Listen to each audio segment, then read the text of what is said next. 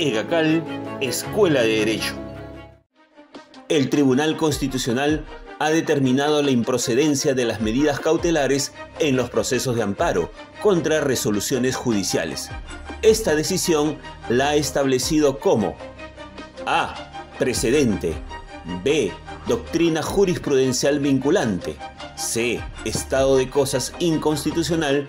D. Sentencia manipulativa.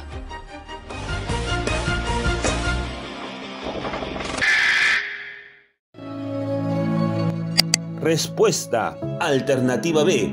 Doctrina jurisprudencial vinculante. Fundamento. El Tribunal Constitucional en la sentencia 978-2012 proceso de amparo ha establecido como doctrina jurisprudencial vinculante que son improcedentes las medidas cautelares en los procesos de amparo contra resoluciones judiciales.